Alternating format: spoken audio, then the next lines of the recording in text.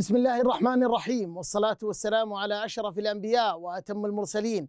نبينا محمد عليه أفضل صلاة وأتم تسليم أبناء الطلاب بنات الطالبات.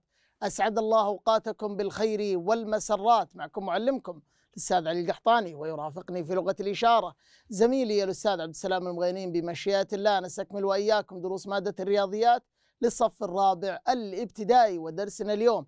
يا مبدعين ويا مبدعات هو امتداد للدرس الماضي الذي كان يحمل عنوان المستوى الإحداثي. إذا استعرضنا مفاهيم أساسية وبعض الأمثلة وبعض التدريبات. اليوم بإذن الله نستكمل وإياكم حل بقية التدريبات. إذا ننطلق وإياكم إلى فكرة الدرس. أستعمل الأزواج المرتبة لأجد النقاط على المستوى الإحداثي وأسميها. استعرضنا وإياكم كذلك في الدرس الماضي أبنائي وبناتي. هذا الاستعداد وحددنا بارك الله فيكم كيف أو وصفنا كيف ننتقل إلى بيت عادل من هذه الخريطة. وهذه الخريطة قلنا أنها تمثل ماذا؟ تمثل بارك الله فيكم المستوى الإحداثي. وقلنا وعرفنا المستوى الإحداثي أنه عندما يتقاطع خطاء أعداد عند نقطة الصفر لكل منهما. إذا أبنائي وبناتي كذلك استعرضنا في هذه الشريحة وإياكم. المستوى الإحداثي وتعرفنا عليه أكثر وأكثر. وقلنا أنه التقاء بارك الله فيكم خطي أعداد خط السينات وخط الصادات. وتقاطع أين أبنائي وبناتي؟ في نقطة صفر لكل منهما وهذه النقطة أسميناها نقطة الأصل. إذا هذا المحور السينات وهذا محور الصدات وتعرفنا على نقطة الأصل بارك الله فيكم. وتعرفنا كذلك بارك الله فيكم أن النقطة خمسة وثلاثة وهي بيت عادل بارك الله فيكم أنها ماذا تمثل؟ تمثل بارك الله فيكم العدد الأول خمسة يمثل الإحداث السيني والعدد الثاني ثلاثة يمثل الإحداثي الصادي وأسميناها كذلك ماذا؟ زوج المرتب أو الإحداثيات إذا الآن ننطلق وإياكم لحل بقية التدريبات يا مبدعين وفي هذه التدريبات يقول سم الشيء الذي يقع عند كل كل من الأزواج المرتبة التالية. السؤال رقم 18 الزوج المرتب تسعة وستة. هل تستطيعون تحديد ما هو الشيء الذي يقع عند النقطة تسعة وستة؟ تفضلوا يا مبدعين.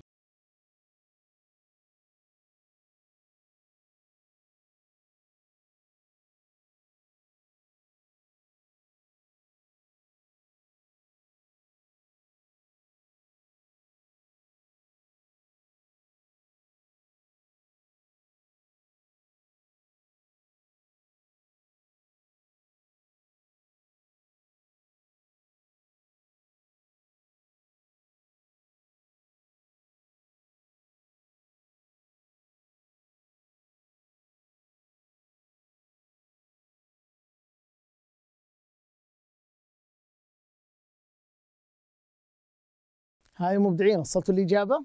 بارك الله فيكم. حتى نحدد ما هو الشيء الذي يقع عند الزوج أو الإحداثي تس... الإحداثيات تسعة وستة نقول ننطلق من نقطة الأصل. الإحداث السيني كم يا أبطال؟ تسعة. إذا أنطلق إلى التسعة.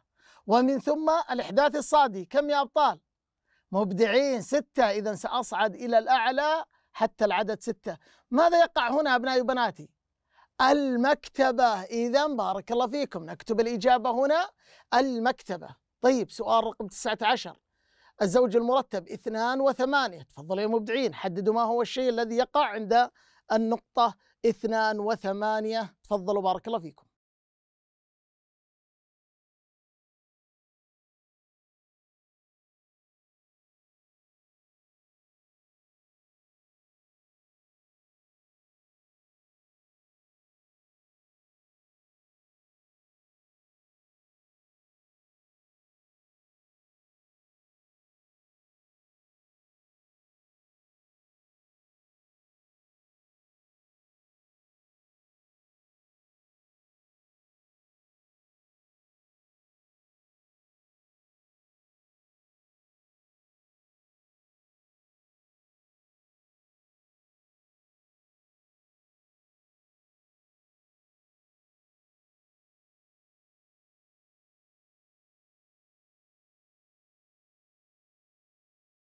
هاي مبدعين وصلت الإجابة؟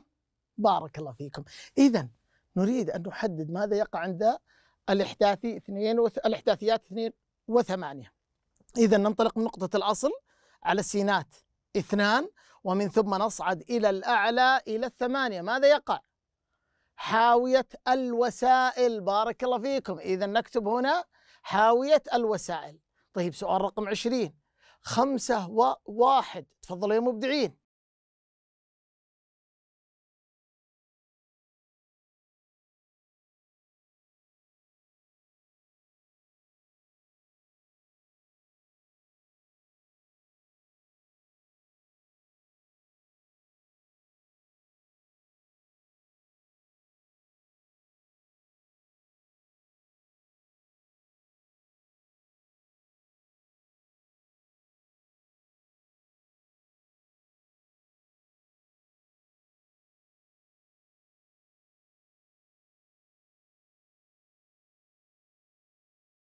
ها يا أبطال.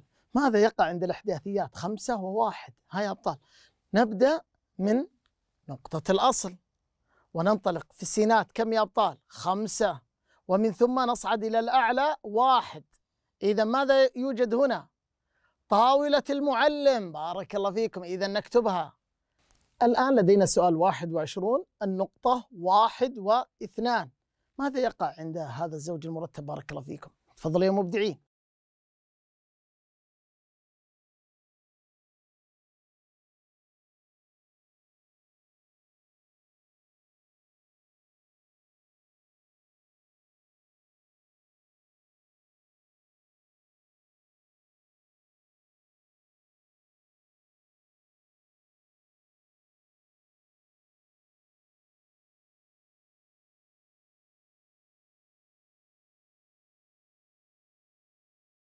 هاي مبدعين وصلت الإجابة؟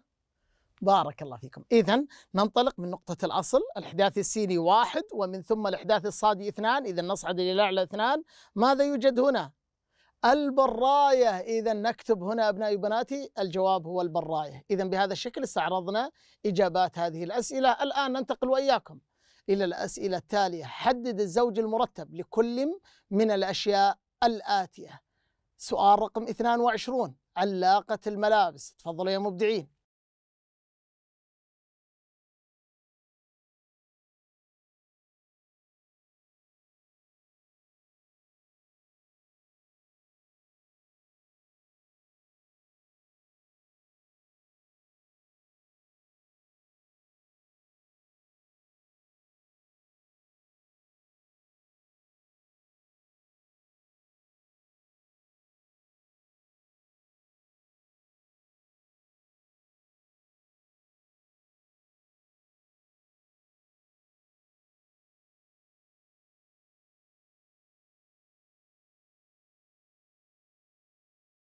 هاي مبدعين وصلت الإجابة. أين تقع علاقة الملابس أبنائي وبناتي نحتاج أن نحدد. بارك الله فيكم الإحداثيات. إذا هذه علاقة الملابس. ننتقل إلى الإحداث السيني. كم؟ خمسة.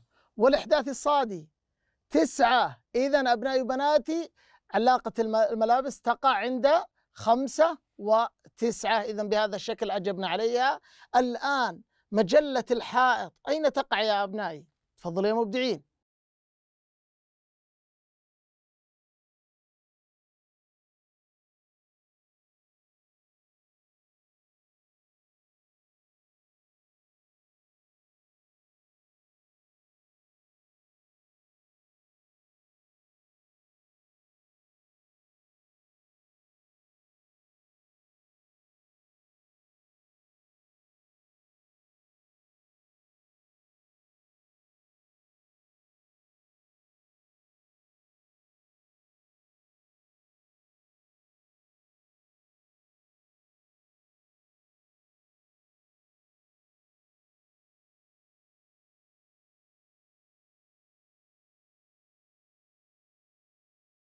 هاي مبدعين وصلت الإجابة؟ بارك الله فيكم. إذا مجلة الحائط نحتاج أن نحدد أين تقع. إذا هذه مجلة الحائط.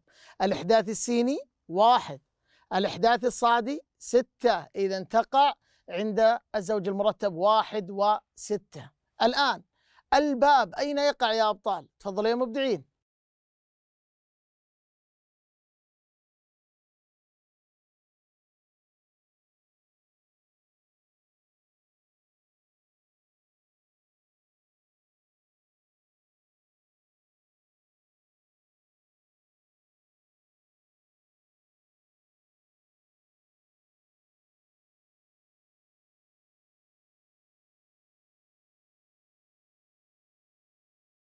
هاي مبدعين أين يقع الباب؟ بارك الله فيكم استطعتوا تحديده؟ هنا هذا هو الباب هنا عند نقطة الأصل إذا كم تكون الإحداثيات؟ مبدعين صفر وصفر الآن السؤال التالي السبورة أين تقع؟ تفضل يا مبدعين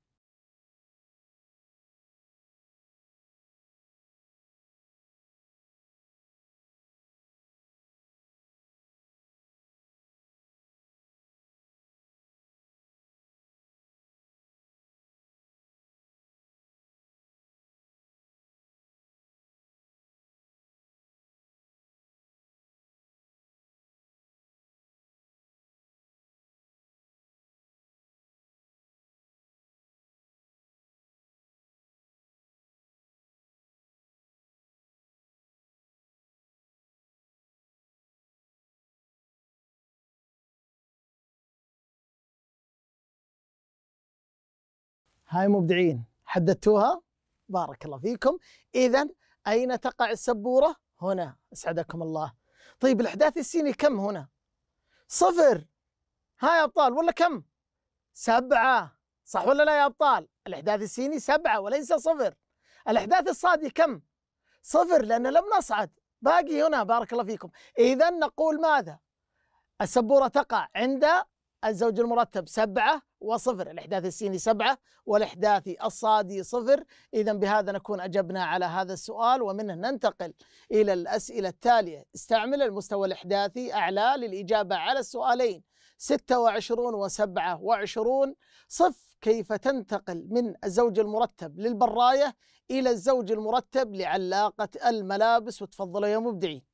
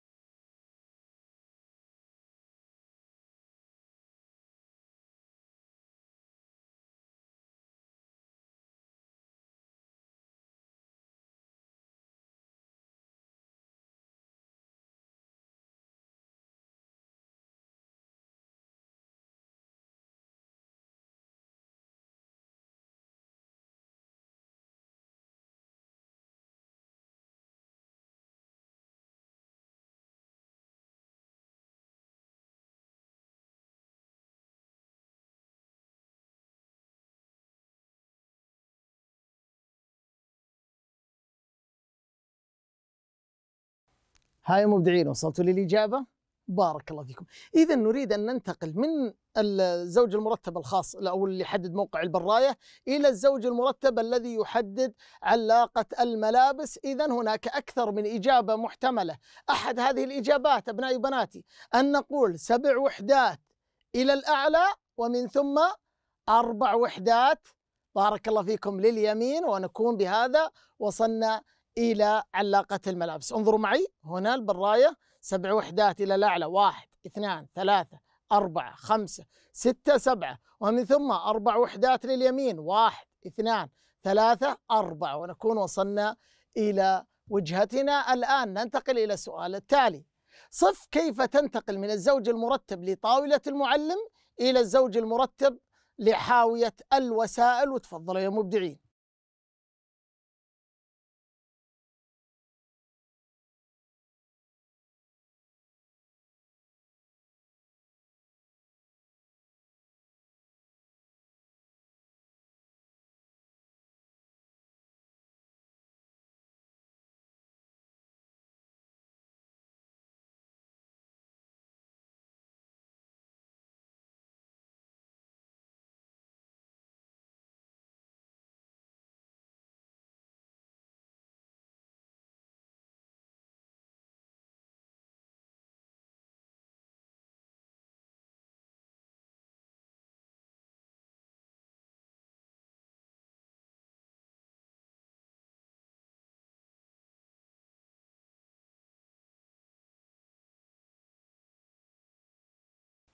هاي مبدعين نريد أن ننتقل من طاولة المعلم إلى حاوية الوسائل.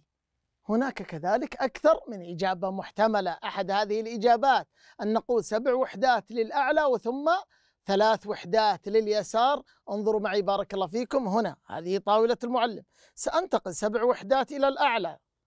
بارك الله فيكم. ومن ثم ماذا؟ ثلاث وحدات لليسار. فنكون بهذا وصلنا إلى وجهتنا الآن ننتقل وإياكم إلى الأسئلة التالية. ملف البيانات. خرائط. تساعدنا خطوط الطول والعرض على تحديد المواقع على الخرائط وهذه الخطوط تشكل مستوى إحداثي. هنا أبنائي وبناتي لدينا خريطة المملكة العربية السعودية ونرى خطوط الطول والعرض وهي التي تشكل لنا هنا ماذا؟ مستوى إحداثي. السؤال رقم 28 ما المدينة التي تقع؟ جانب خط العرض 26 وخط الطول 50 تفضلوا يا مبدعين.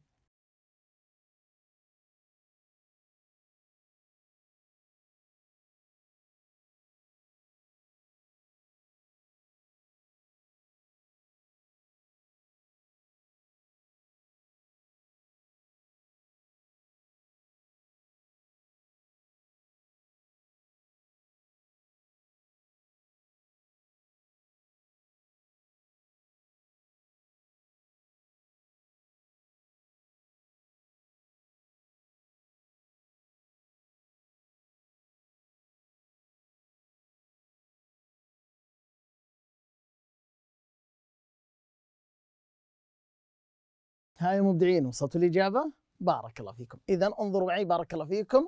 هنا. خط العرض 26 إذا هذا هو خط العرض 26 بارك الله فيكم. طيب خط الطول 50 هنا بارك الله فيكم. إذا ما هي المدينة؟ هي مدينة ماذا؟ الدمام. إذا نكتب هنا الدمام. طيب يا أبطال ما خطا العرض والطول اللذان تقع بجانبهما مدينة الرياض؟ إذا أبنائي وبناتي حددوا بارك الله فيكم خطاء الطول والعرض التي تقع بجانبها مدينة الرياض. تفضلوا يا مبدعين.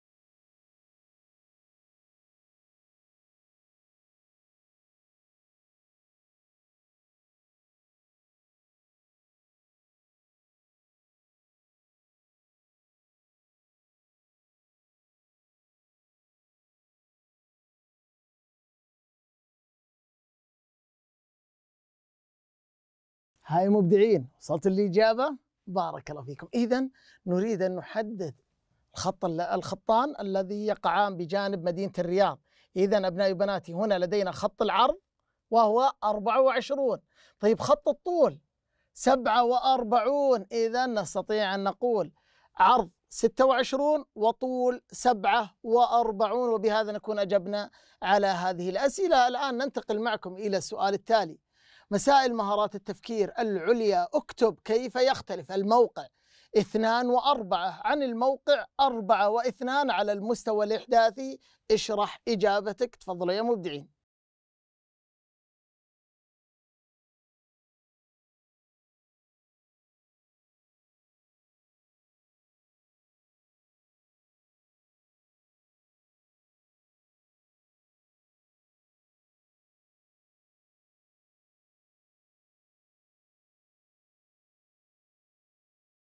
ها يا أبطال وصلت الإجابة؟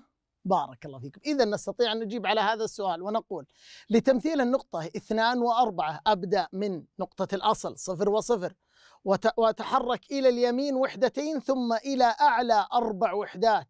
ولكن لتمثيل النقطة أربعة واثنان أبدأ من نقطة الأصل كذلك صفر وصفر وأتحرك إلى اليمين أربع وحدات ثم وحدتين إلى الأعلى. فنرى هنا الاختلاف. بارك الله فيكم. ومع هذا السؤال نكون وصلنا وإياكم إلى ختام درسنا لهذا اليوم.